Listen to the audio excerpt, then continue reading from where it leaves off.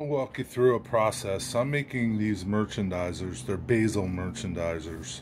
Uh, they go into uh, local uh, grocery stores, Whole Foods. We have ShopRites here, Acme, Whole Foods. Uh, these uh, particular racks are going to Whole Foods in uh, the D.C., Virginia, and Maryland, Baltimore area.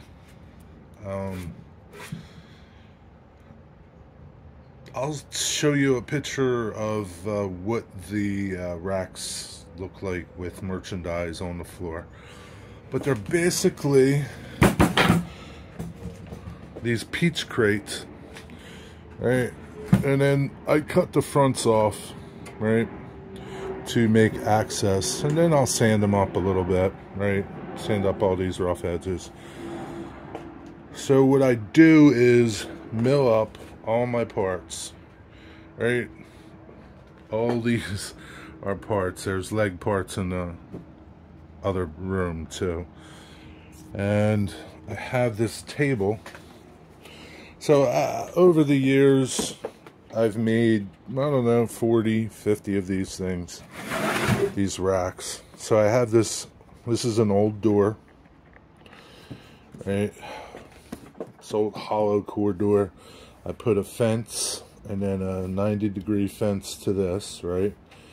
These are my racks, right? My all my measurements for one two bay rack, right? Uh, my back legs, my front legs, my supports, my middles. It tells me everything I need to know to make one of these two bay racks. And then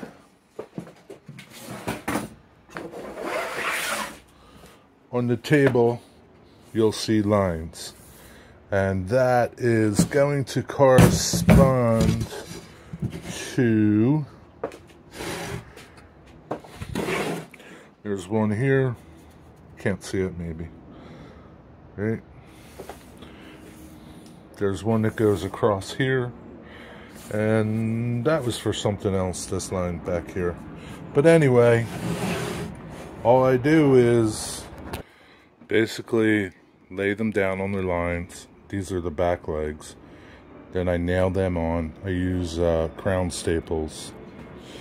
Uh, this type of a uh, fastener to fasten them. Alright. This tells me my separation between them. Right? And then take a square and then get them flush with the legs. They just need to be flush with the legs here. Right. And then boom, boom, boom, start putting them together.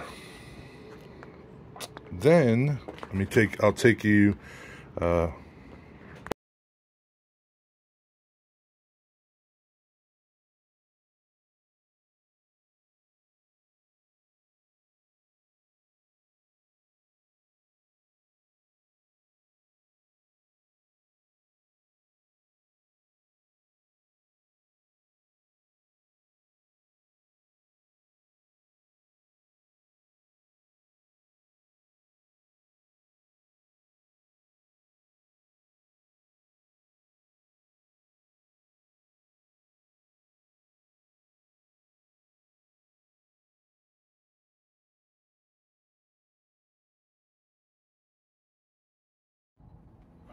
so you saw in time lapse how fast they go together. They take maybe 15 minutes to put together. But I've done all of this work, cutting all my legs to size, all my other parts. Uh, you saw me use these setup blocks. These setup blocks uh, basically tell me without doing measurements where each part needs to go. Um, this is for the leg supports, so that goes down at the bottom. You saw me do that, and then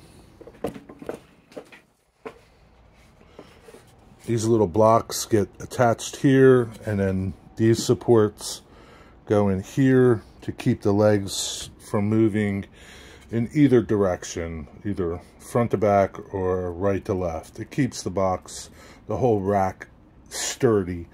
It needs to be sturdy because these are going into retail stores and uh, some of the racks that I've done are probably eight years old, seven years old, and they're still in the stores and they're still, you know, surviving. So you got to make them pretty strong. Um, yeah, this is it's just like all these little um, setup blocks really help you go through this in a somewhat timely manner. So whenever you're doing something that's repetitive, you're making 20, 30, 100 of something, think of a better way to do each process and uh, so it doesn't take you as long to do it, especially if this is what you're doing for a living.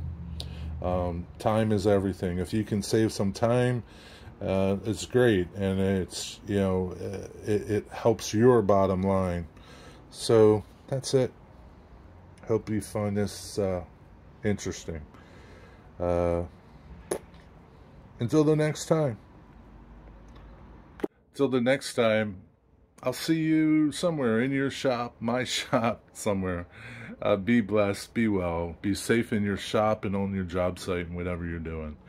Uh, hey, if you haven't yet, hit the like button. I appreciate it. Subscribe if you haven't subscribed. We can build a lot of things in this shop, but one thing we cannot build is this channel without you. Be well.